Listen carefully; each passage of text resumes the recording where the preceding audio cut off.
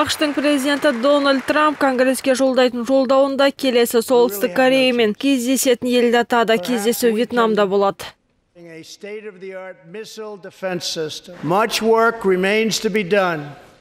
Жасайтын жұмыс көп алайда менің ким чен инмен қарым қатынасым жақсы. ким төрағамен вьетнамда 27-28 ақпанда кездесеміз.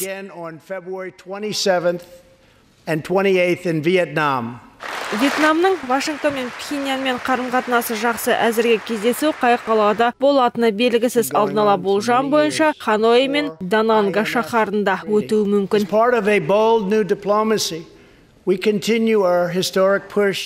Біздер жаңа дипломатиялық қарым қатынасты жалғастыра отырып корей жартылай аралында бейбітшілік орнату үшін жұмыстанып жатырмыз. Тұтқында болған азаматтар үйге қайтты. Ядролық зерттеу тоқтатылды. 15 айдай болды.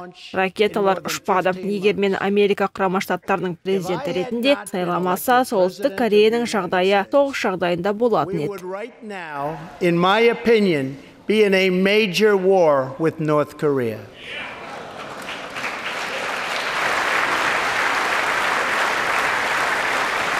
Дональд трамп пен ким чен иннің алғашқы тарихи кездесуі өткен жылы 12 маусымда болған еді. Сол, сол кезде солтүстік кореяның лидері ядролық бағдарламадан бас тартатындығын мәлімдеген болатын. Алайда нақты қандай жұмыс жасайтындығын ашып айтпады. Алайда американың барлау қызметі кимнің ядролық қарудан өз еркімен бас тартпайтын сияқты деп отыр. Спутниктің суреттерін зерттеп отырған сарапшылардың сөзінше солтүстік корея ядролық қару мен ракетаны жасақтап жатырған деген пікірде.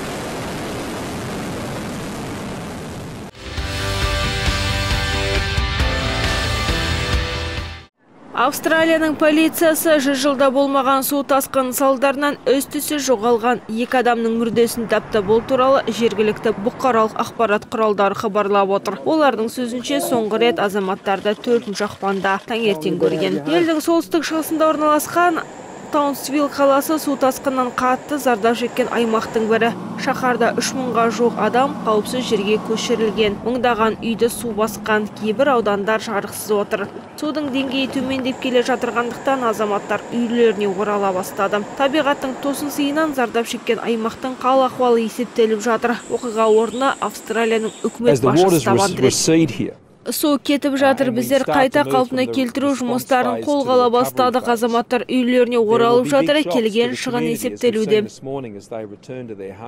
атқарушы билік өкілдері азаматтарға қауіпсіздік шараларын сақтауға шақырады. Себебі су олтырауындар мен жыландарды ала келіпті. Оларды жергілікті аудандардан кездестіруге де болады. Су тасқыны толассыз жауған жауын шашынның салдарынан орын алған. Бір аптаның ішінде жауын шашынның жылдық нормасы түскен квинсленд штатының үкімет басшысы анастасия палащук мұндай оқиға бір ғасыр бұрын орын алды дегенді айтады.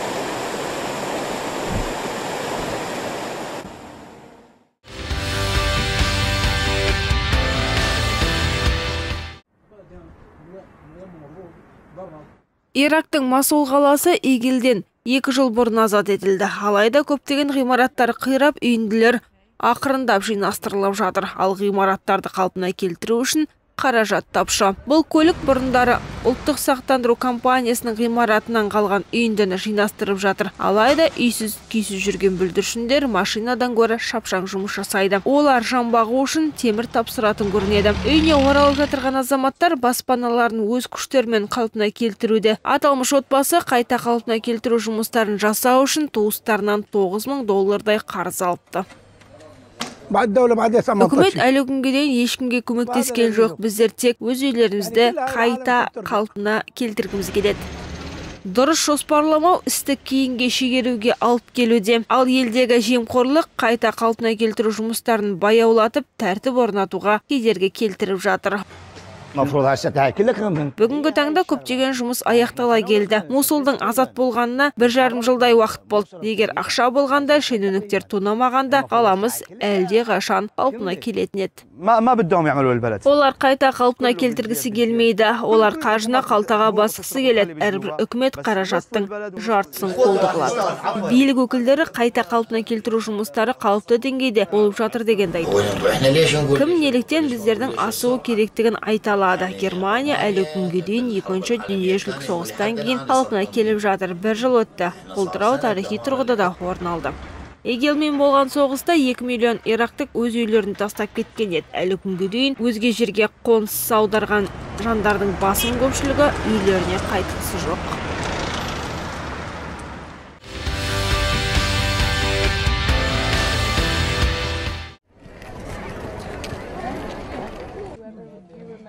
Біріккен ұлттар ұйымының еріктісі актриса анджелина джоли бангладештің шекарасында өмір сүріп жатқан мұсылман рахинжылықтармен кездесті. Оның аталмыш мекенге табан тіреуі біріккен ұлттар ұйымына 920 миллион доллардай қаражатты жинауына көмектеспек бұл қаражат арқылы миньямнан қашқан азаматтарды қолдауға жұмсалады деп күтілуде. 2017 жылдың тамызынан бастап 730 мың рахинжылық бангладешке қоныс аударып үлгерген. Олар миньямдық әскерилерден қашыпты. Миньямда өмір сүріп жатқан түрлі этностар арасындағы кикілжің көптеген жылдарға ұласты.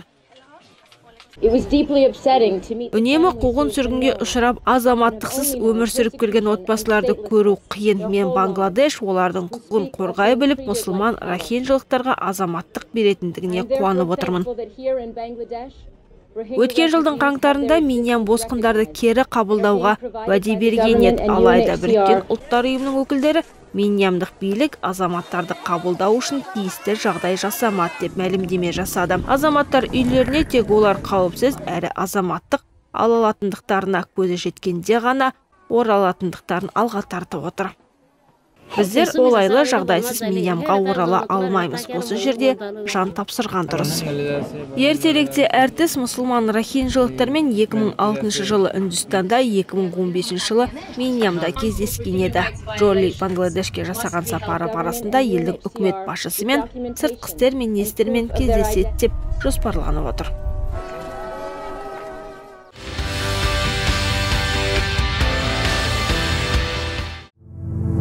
Дания астанасының орталығында орналасқан атақты тиволи саябағының аспанында солтүстік шұғыласы шағылысуда. Бұл инсталляцияны копенгагенде жарық фестивалі аясында жасап шығарған. Қаланың көрікті жерлерін мыңдаған түрлі түсті шығымдар әшекейлеуде. Бұл жарық фестивалі үшін таптырмас мезгіл. Қыстыгүні қараңғы тез түсіп жарық шоу үшін керемет фон пайда болады. Копенгагенде барлығы қырық жарық инсталляциялар орнатылды. Фестиваль ұйымдастырушылары тұрғындардың көңілдерін көтеріп олардың көшеге жиі шығуына шабыт беруде. Фестиваль көмегімен копенгагенге деген қызығушылық артуда және ол қиял ғажайыппен қоршалғандай. маған өте ұнайды. жылдың бұл мезгілінде көшеге шығып шамдарды бақылаған абзал. бұл керемет. Жарық фестивалі 24 күн бойы жалғаспақ.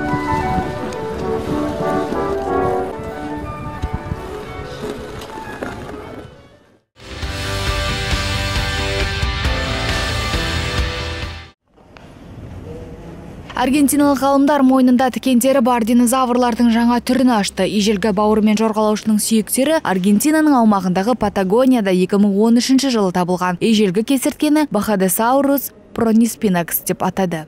Ғылыми баяндамада бірегей сипаттамаларға ие динозаврдың жаңа түрі туралы жазылған. Біздер оның бас сүйегінің басым бөлігін және ірі тікендері бар мойын омыртқаларды кезіктірдік. Бұлар динозаврдың кейпіне ерекшелік береді. Ғалымдардың сөзінше жануардың тікендері қазіргі мүйіз тұмсықтардың мүйізі секілді кератиннен құралған. Тасқа айналған қалдықтарға 140 миллион жыл. Қазба жұмыстары неукен провинциясының жанында жүргізілді. 140 миллион жыл бұрынғы қабат қалдықтарын әлемде сирек кездестіреміз. Бұл динозаврлар туралы көп ақпарат алатын мүмкіндік әсіресе неукенді кесірткелер жайында.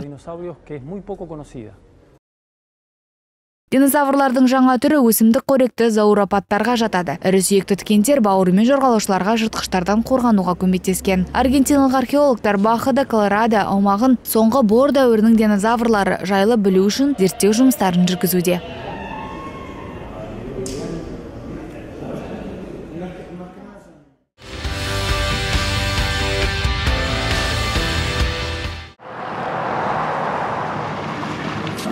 Саясаткерлер болмаса да Австралиялық парламентте жұмыс қызу жүргізілуде. Аулалардың біріндегі кешеннің дәл ортасында омарталар орналасқан. Ал оларда милипондар деп аталатын бізгексіз аралардың түрі мекен етеді. Жергілікті омарташы Кормак Фаррелл оларға қарасады. Мына омартаның жүрегі бұл ханшайым мекендейтін ұяшық. Бұл араларда бізгек жоқ, сондықтан арнайы киім де қолғап та қажет емес. We have nearly 30 hectares Бізде шамамен жыл бойы гүлдейтін here, 30 гектар бақ бар, керемет орта. Олар бұл жерде өздерін жақсы сезінеді. Шамамен 40 мың ара 1300 шақырымды артқа тастап Саншайн Кос университетінен өздерінің жаңа мекені Аустралияның астанасына қоныс аударған. Мұнда олар экологиялық тәжірибеге қатысуда, ғалымдар жәндіктердің жаңа ортаға қаншалықты тез бейімделіп, өсімдіктерді тозаңдатуын бақылауды мақсат тұтуда. Аралардың саны азайып бара жатқан соң Аустралия тарапы осы түрді өсіріп, елдің өзге аумақтары мен өзге елдерге жеткізгісі келеді. Араның бұл түрлерін барлық Аустралияда қолданамыз деген үміттеміз, яғни тозаңдануды экзотикалық жәндіктер жүргізу үшін. Біздер бір күні кішкентай аустралиялық бізгексіз араларымыздың әлемдік сахнада билейтінін көретін боламыз.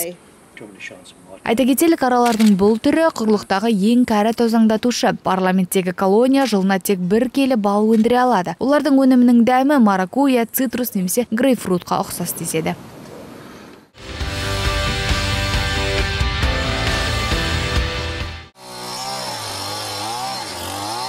Өткен жылы қатты жаңбыр мен ішкі нарықтағы төмен бағалар әлемдегі арабиканың жетекші экспорттаушысы Колумбияда кофенің өнімінің төмендеуіне алып келді. Ел бойынша шамамен 13,5 миллион 60 келі дорба жиналды. Бұл өткен жылға қарағанда 4,5 пайызға кем. Алайда биылғы өнім көлемі қайта қалпына келуі мүмкін. Оған қатты жауын шашынды ұстап тұрған Эль Ниньо феномені себеп болмақ. Бұл туралы кофе өндірушілердің федерациясының басшысы хабарлады.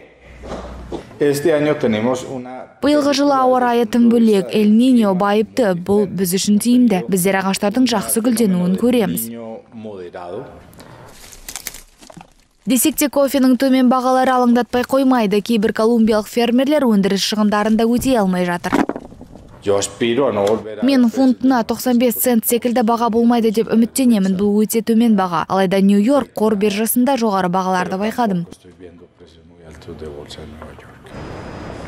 Бұдан былай Колумбиялық федерация ірі клиенттерді фермерлердің қомақты табысқа кенелуіне көмектесуге шақырады. Алайда бұл бастама әзірше жауапсыз қалып отыр. Ешкім материалдық ахуалын көтеру жайында, сәйкес емес бағалар жайында айтып жатқан жоқ. Дегенмен өнеркәсіп жеткізушілерге қаржылық тұрақтылық қажет екенін түсінуі тиіс.